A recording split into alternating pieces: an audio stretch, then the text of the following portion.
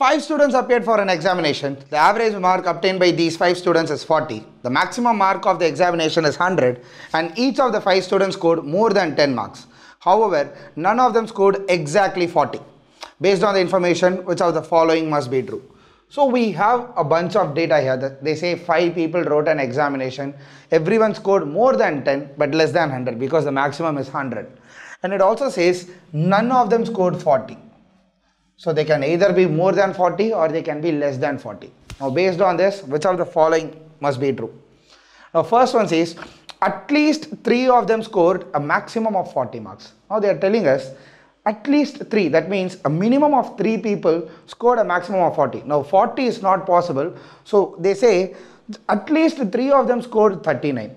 Now the point is they say we can have 3, 39, 39, 39 and the other two people compensate these three marks let's say 41 and 43 42 now they say this is a case but there is also a possibility we can have just two of them scoring a maximum of 40 39 and 39 the other three have to put together uh, 122 let's say 41 41 40 this could have happened but 40 is not possible that means this person gets 38 and this person gets 30, 41.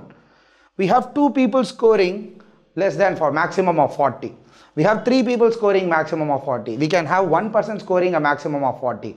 We can have one person score 11 and the rest of them put together give us 189. One person can be less than 40. Four of them being greater than 40 is possibility. So this cannot be true. This is definitely not a true statement. Can't say that. The second one says at least three of them scored more than 40 marks. Now they say a minimum of three people scored more than 40 marks. Not necessary again. I can have four people score 30, 30, 30 and 30 and the fourth person scoring 80. They still end up with 200. Now if you look at this, at least three of them scored more than 40, not true because I clearly see that four of them are less than 40. Only one of them is more than 40. So again, this cannot be true. And the third one says at least one of them score exactly 41. No, we cannot say that. Here in this case, we have 30, 30, 30, 30 and 80.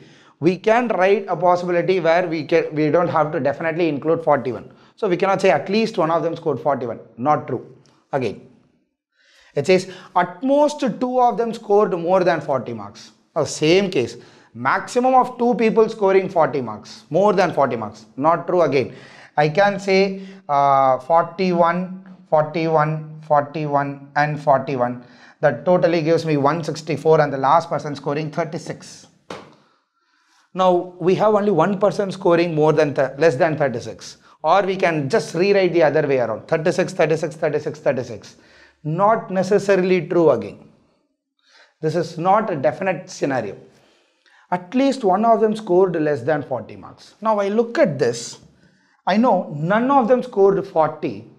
That means some of them have to be less than 40, some of them have to be greater than 40. Definitely one person has less than 40 because if everyone scores more than 40, that definitely means the average is not 40. So in that case, this is definitely true.